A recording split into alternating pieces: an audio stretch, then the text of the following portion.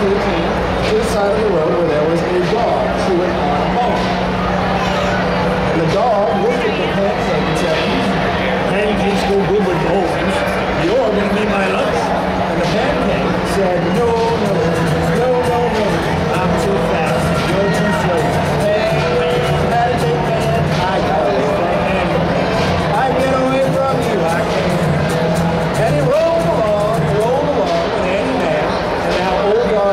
chasing after until he came to another field, and in this field he saw a cow chewing on her cud. Do you guys know what cud is?